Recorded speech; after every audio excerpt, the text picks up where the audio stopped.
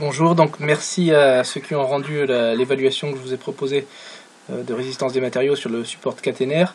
Euh, donc comme il y en a qui ne l'ont pas encore rendu, je suppose, et j'ai eu quelques-uns euh, d'entre vous qui m'ont dit qu'ils avaient quelques difficultés, donc je vais revenir un peu sur l'exercice et vous montrer la méthode de résolution pour permettre à ceux qui sont en difficulté de le faire, et éventuellement s'il y en a qui l'ont rendu et qui veulent apporter des modifications, de pouvoir le faire. Alors donc euh, le, support euh, sur lequel on travaille est constitué de euh, trois éléments qu'on va assimiler à des poutres. Donc une poutre verticale qui est un, profil IPE. Donc l'IPE c'est comme l'IPN, hein. c'est des profils en I normalisés. Donc l'IPN c'est forgé et là c'est soudé, donc c'est juste des ailettes soudées. Euh, donc celui-ci c'est un IPE qui a une hauteur de section de 200 mm. Donc la hauteur de la section hein, c'est du euh, haut au bas de la poutre quand elle est représentée dans un coupé.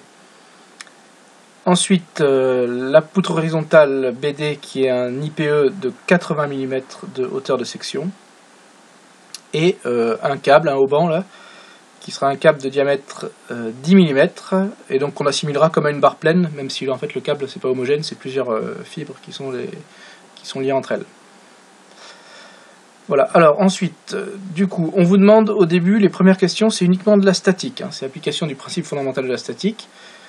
Si on met, on isole les poutres CD et BD, donc les poutres qui sont ici et ici, on voit qu'en fait c'est des poutres qui sont soumises que à deux forces, une force à chaque extrémité. Et donc en statique, on a vu que quand on avait un solide qui était soumis à deux forces, uniquement à deux forces, et bien ces deux forces elles étaient euh, exactement opposées. Donc elles avaient même direction, même norme et sans s'opposer. Donc ça veut dire que ben, sur les poutres CD et BD, les forces elles vont avoir comme direction l'axe de la poutre. Et c'est tout ce qu'on peut dire à ce niveau-là, au niveau du principe fondamental de la statique. On ne peut pas faire de résolution, mais ça nous permet de trouver, quand on isole les solides soumis à deux forces, de trouver la direction de l'effort. La direction des forces. Et donc, connaissant cette direction des forces, par contre, on peut commencer à dire sur quelque chose sur la nature des sollicitations. Si les forces sont alignées dans l'axe de la poutre, eh ben, ça veut dire que la poutre elle est soumise soit à de la traction, soit à de la compression. Voilà, avec un effort euh, normal un effort n. Par contre, euh, pour l'instant, le signe, on ne peut pas savoir. Euh, pour connaître le signe, il faudra faire la suite hein, pour euh, trouver le signe, donc savoir si c'est de l'attraction ou de la compression. Alors on peut se douter quand on voit le système intuitivement que le câble, le haut-banc là, sera soumis à de l'attraction et que la poutre horizontale sera soumise à de la compression. Et ça on le verra après. Donc voilà, c'est tout ce qu'on peut dire à ce niveau-là dans cette question. Ensuite, on va faire l'équilibre du nœud, le nœud en tant que connexion. Hein. le nœud D, on suppose que c'est la pièce de connexion entre, entre les poutres qui sont ici. Donc le nœud, c'est la connexion entre la poutre CD et la poutre BD, et sur ce nœud, il y a une force de 500 N qui est appliquée. Donc ce nœud, si on l'isole, lui, il est soumis à trois forces. Et donc quand on a un solide qui est soumis à trois forces, on applique le principe fondamental de la statique qui dit que ces trois forces, euh, leur somme vectorielle est nulle, donc on va construire ce qu'on a le triangle des forces. Donc on peut le faire graphiquement, ou alors euh, c'est un cas qui est relativement simple, puisque le triangle des forces qu'on va construire autour de cette force-là, donc cette force-là est connue, celle qui vient de la poutre CD, on a vu que la direction, on l'a vu à la première question, elle est connue, et celle de la poutre BD, la direction est connue. Donc autour de la force de 500 N, on construit un triangle avec ces deux directions, et en fait on va avoir un triangle qui va avoir cette forme-là. Pas forcément avec la même échelle. Donc du coup au niveau des proportionnalités, on peut faire le calcul directement à la main. Hein. Si la force fait 500 newtons, sur le triangle ici ça fait 1 mètre. Donc euh, la force horizontale qu'on aurait ici dans le triangle, elle fera 500 euh, fois 3. Parce que là on a 3 mètres. 500 newtons équivaut à 1 mètre. Et donc 3 mètres, ça ferait, euh, ça ferait 1500 newtons. Voilà, donc ça c'est un calcul classique de, de, statique. Et donc là on trouve bah, les valeurs qui nous manquent, hein, soit graphiquement, soit par le calcul. Euh, les valeurs des forces euh, dans la poutre BD et dans la poutre CD. Alors attention, quand on va repasser aux poutres pour voir si elles résistent ou pas aux efforts, il va falloir appliquer ce qu'on appelle le principe des actions réciproques. L'effort du nœud D sur CD, c'est exactement l'inverse de l'effort de CD sur le nœud D. Donc quand on isole le nœud D, on a l'effort de la poutre sur le nœud, et quand on revient à la poutre, il faut bien prendre l'effort opposé hein, qui est l'effort du nœud sur la poutre. Voilà, alors du coup, euh, pour les résultats, je vais vous dire ça tout à l'heure, on va faire. Donc là, euh, on était aux actions mécaniques, on passe aux contraintes. Donc comme ces poutres, donc si on regarde les signes, on va savoir si les poutres sont soumises à de la traction et de la compression. La poutre CD en l'occurrence, elle sera soumise à de la traction. Et pour trouver la contrainte dans, le matériau, le cas traction ou compression, c'est le cas le plus simple, celui où la, la contrainte est directement proportionnelle à la surface de la section. Donc il faut euh, calculer sigma, c'est une contrainte normale. Quand on a de la traction ou de la compression, ça génère une contrainte normale, sigma. Sigma est égal à n sur s, donc la force sur la surface. Donc pour trouver la surface, eh ben, on a pour le, câble CD, c'est euh, câble de diamètre, câble de, section circulaire de diamètre 10, donc euh, pi r au carré. On trouve la surface et du coup on va trouver la contrainte en mégapascal. Et on va regarder cette contrainte qu'on trouve si oui ou non elle dépasse la limite élastique de l'acier qui est donnée ici, sigma E. A priori, on ne devrait pas dépasser. Euh, sur la poutre BD, sur la eh ben, c'est la même chose, sauf que là, au niveau des signes, on va voir que la, contrainte dans la poutre la force dans la poutre est négative. Donc ça veut dire que la poutre est soumise à de la compression. Et la formule est la même, sigma égale n sur s. Et on trouve la valeur de la contrainte. Et on regarde si elle dépasse ou pas la limite élastique. Alors, maintenant, pour voir ce qui se passe dans la poutre verticale, dans la poutre AC. Alors, pour, pour des, par commodité, souvent on prend X le long de la poutre, donc on va allonger cette poutre, et on va voir les efforts qu'on trouve. Donc, les valeurs qui sont ici, bah, c'est ce que vous avez dû trouver normalement à la première question. Hein. Donc, la force du câble, euh, au lieu de la mettre inclinée, on met ces deux composantes, c'est ce qui nous intéresse. Et la force de la poutre horizontale sur la poutre, euh, sur cette poutre-là. Donc là, pour faciliter le travail après qu'on fera euh, pour trouver les torseurs de cohésion, on va trouver directement l'effort qui nous manque ici en A. Comme ça, on aura les efforts sur cette poutre, tous les efforts extérieurs sur cette poutre. Donc si j'isole cette poutre, là j'ai un encastrement, c'est mon effort inconnu, et là j'ai mes deux efforts connus. Donc je vais faire somme des forces égale à 0 et somme des moments des forces égale à 0. Donc somme des forces égale à 0. 1500 newtons plus 1500 newtons, sur Y, ça va s'annuler. Donc il va me rester plus qu'une force sur X de 500 newtons. Et comme ça plus ça égale à 0, et ben en A, je vais avoir une force de 500 newtons qui sera opposée à la force qui est ici. Donc il sera sur les, X positifs. Voilà pour les forces. Au niveau des moments, euh, au niveau des moments, en fait, on va avoir, euh, regardé quelles sont les, forces et les composantes des forces qui créent un moment autour de A. Donc autour de A, celle qui est ici, là, elle est alignée avec la poutre, donc elle ne crée pas, elle d'effort, euh, elle ne crée pas de moment autour de A, d'accord? Parce qu'elle est dans l'axe de la poutre. Donc cette force va créer un moment autour de A, donc 1500 newtons fois un bras de levier de 6 mètres, d'accord? Dans le sens trigo, et celle-ci va créer un couple 1500 newtons fois un bras de levier de 7 mètres dans le sens horaire. Donc on va voir ce moment qui va moins ce moment, hein. donc il va nous rester 1500, au final 1500 euh, fois 1, on va trouver 1500 Nm, et comme ce moment doit s'opposer au moment le plus important qui est celui-ci, et bien donc le moment, on va le trouver, qui sera dans le sens horaire, euh, dans le sens trigo, pardon. Voilà, donc les résultats sont ici. Donc une fois qu'on a ça, on a une poutre avec tous les efforts extérieurs qui sont dessus et on va pouvoir trouver les torseurs de cohésion. Alors pour le torseur de cohésion, vu qu'on a plusieurs points où il se passe des choses, où il y a des efforts, on va être obligé de travailler en deux fois, une fois sur, la, sur le segment AB de la poutre et une fois sur le segment BC. Donc sur le segment AB, on va faire la coupure fictive au milieu de la poutre. Donc on sépare la poutre en une partie 1 et une partie 2 et on va regarder le torseur de cohésion qui sera l'effort de la partie 2 sur la partie 1. Donc je vous rappelle, c'est ce que vous aviez dans le cours euh, ici, hein, pour trouver le torseur de cohésion, c'est on fait une coupure fictive, effort de 2 sur 1. Et pour trouver cet effort de 2 sur 1, et eh ben, soit je prends tout ce qui est d'un côté, tout ce qui est euh, sur la partie 2 appliqué au point G, soit moins tout ce qui est sur la partie 1 appliqué au point G. Donc nous, on va voir que du coup, il y a deux façons de trouver ce torseur de cohésion, et on va choisir la plus facile à calculer. Donc, torseur de 2 sur 1, c'est égal soit à tout ce qui est de ce côté appliqué au point G, soit à tout ce qui est de ce côté appliqué au point G. Et on voit qu'à gauche, il y a moins d'action mécanique qu'à droite, donc pour faire le calcul, on aura plutôt intérêt à prendre ce qui est de ce côté, mais sans oublier de mettre le signe moins. Donc on va, en fait, on va avoir déjà un moment de 1500 newtons, une force de 500 newtons qu'on va déplacer au point G.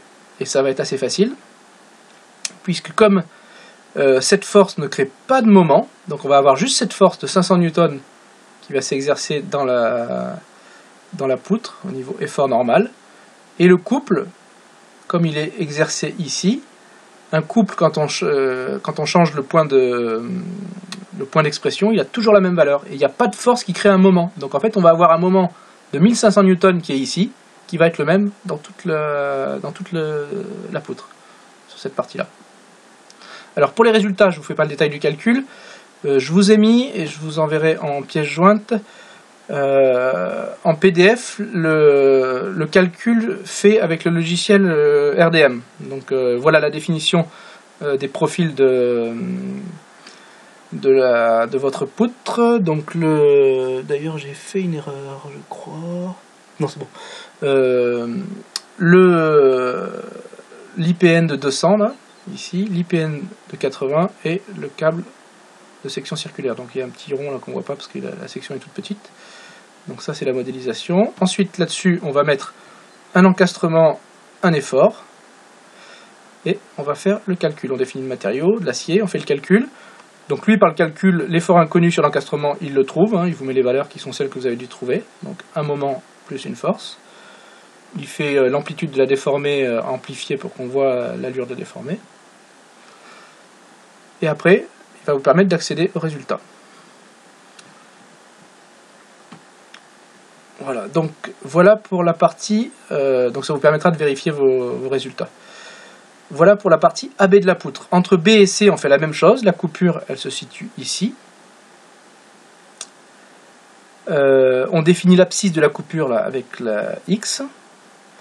Et là, pareil, soit pour euh, appliquer le, pour trouver le torseur de cohésion, soit je fais plus tout ce qui est de ce côté, ou moins tout ce qui est de ce côté. Et là, vu que ma coupure est ici, j'ai moins de force à droite qu'à gauche, donc cette fois-ci, je vais prendre la partie de droite. Donc, dans la partie de droite, j'ai euh, une force sur euh, x de 500 newtons, sur moins x, et une force sur moins y de 1500 newtons. Et donc, ben, les forces quand je vais appliquer le, quand je vais isoler ça, ben, je vais avoir les 500 newtons qui vont, euh, euh, qui vont rester, qui vont s'appliquer, les 1500 newtons qui seront là, plus un moment autour du point G, donc on, fait bien ça autour du point G. Hein. La force de 500 newtons ne créera pas de moment autour du point G, par contre la force de 1500 newtons va créer un moment autour du point G, et son bras de levier, c'est la distance GC, donc c'est 7, 7 mètres moins x, 7 moins x. 7 mètres moins l'abscisse x. Voilà, donc on aura du coup dans le torseur de cohésion l'expression du moment qui va dépendre de x, donc c'est-à-dire que le moment ne sera pas constant. Donc à partir de ça, une fois qu'on a le torseur de cohésion, on vous demande de faire les diagrammes de sollicitation. Donc les diagrammes de sollicitation, bah, je vous montre du coup ce qu'on doit trouver avec le logiciel. Donc c'est la même chose qu'il faudrait dessiner. Donc nous, ce qui nous intéresse, c'est juste sur cette poutre-là. Là. Lui, il fait le calcul sur tout, mais pour l'instant, nous, on s'intéresse que au, mât euh, du support caténaire. Et on voit que l'effort normal qui est dedans, j'ai décomposé, un effort normal, il est constant, 1500 newtons sur toute la longueur de la poutre. Voilà. Au niveau de l'effort euh, effort tranchant. Donc on voit, quand on a fait le calcul sur la première partie de la poutre, on voyait qu'il n'y avait pas d'effort tranchant, il y avait juste un effort normal. Et on va avoir... Euh, on va avoir donc du coup... Euh,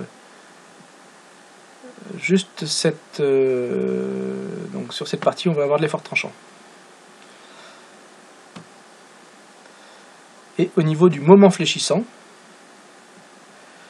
donc on a vu que le moment fléchissant était constant, c'était le couple qu'on avait ici, là, 2500 Nm, donc le moment fléchissant est constant. Et après, on voyait qu'il dépendait de l'abscisse, de, 7-x, là, après il va diminuer progressivement. Il faut faire ces diagrammes et mettre les valeurs maxi et mini. Voilà pour le torseur de cohésion. Donc ensuite, on fait, donc pour l'instant, quand on fait le torseur de cohésion, c'est que de la statique. Hein. c'est toutes des choses qui sont dérivées du principe fondamental de la statique. Qu'on passe réellement à la RDM, c'est quand on va étudier la contrainte dans le matériau. Donc pour passer à la contrainte, il faut, euh, donc je vais reprendre euh, le cours que je vous avais donné. Donc on prend les formules qui permettent de passer. Alors là, on a comme effort soit du cisaillement, soit de la compression. Donc quand c'est de la compression, sigma égale n sur s. Donc là, euh, les surfaces vous sont données par le constructeur dans les données au départ. Voilà, donc là, sur chacune des poutres, donc vous, ce qui vous intéresse, c'est la poutre euh, IPE 200 sur le grand mât. Donc la surface de la section, elle est donnée en mètres carrés et en millimètres carrés. Donc ça nous permet de calculer la surface de la section et donc de trouver n, l'effort normal. Pour, pardon, de trouver euh, sigma, sigma qui dépend de l'effort normal. D'accord? L'effort normal, qui est en newton, donne une contrainte, donne une contrainte euh, normale qu'on note sigma. Ça, c'est pour la traction. Donc sigma égale n sur s. Pour le cisaillement, c'est pareil, c'est facile, ça dépend que de la surface, et la contrainte c'est taux, parce que c'est une contrainte de cisaillement qui va avoir tendance à faire glisser les particules de matière les unes par rapport aux autres. Donc la contrainte taux en mégapascal, elle est égale à l'effort tranchant sur la surface. Et enfin l'autre cas qu'on va avoir, c'est la flexion, donc qui va dépendre du moment de flexion. Voilà. Et cette flexion, elle va engendrer des contraintes normales, sigma. Donc des contraintes normales qui sont euh, d'un côté sur la poutre, comme on va faire fléchir la poutre. D'un côté de la poutre, on, sera on aura des contraintes qui vont, euh, qui vont tirer de la traction et de l'autre côté de la compression. Et tout ce qu'on a ici, c'est du sigma en mégapascal. Et sachant que si on regarde ce qui se passe, la poutre, quand elle va fléchir, c'est à, l'extrémité de la section, attention, pas à l'extrémité de la poutre, au plus haut dans la section, c'est pour ça qu'il faut bien regarder les axes là, c'est pas x, c'est sur y, que la valeur va être la plus grande. Donc cette contrainte, elle dépend de deux choses. Elle dépend de la valeur du moment de flexion, MF. Elle dépend du moment quadratique de la poutre, qui est donné, qui est donné par le constructeur. On ne demande pas de le calculer, parce que c'est un peu compliqué de calculer, puis c'est donné par les, fabricants de, profilés euh, en acier. Voilà, moment quadratique autour de l'axe Z, qui est donné.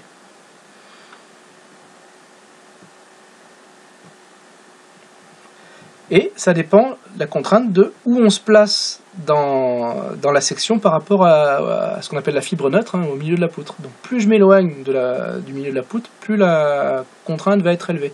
Donc le Y que vous devez prendre ici, je vous ai mis un exemple avec la section de la poutre qui est dessinée dans le logiciel. Attention, le Y max qu'on prend, voilà, le 0 est ici, le Y max c'est quand on est au plus haut dans la poutre, ici. Et donc comme c'est un IPN qui fait 200, la section fait 200 de hauteur, 200 mm, donc là il faut prendre 100 mm pour Y. Et là on trouve la contrainte maxi. Voilà, donc les contraintes maxi, alors on a du taux, donc de la contrainte de cisaillement et du sigma, et le sigma, il va devenir de deux choses, il va venir de la compression de la poutre et de la, et de la flexion. Et les deux vont s'ajouter. Et donc si on observe les résultats, on regarde ce qui se passe euh, à l'intérieur de la poutre. Voilà. Et donc, vos calculs doivent vous montrer des, valeurs qui sont proches de ce qu'on a ici. Hein. Donc, euh, vous voyez qu'en fait, c'est pas tout à fait comme il y a la...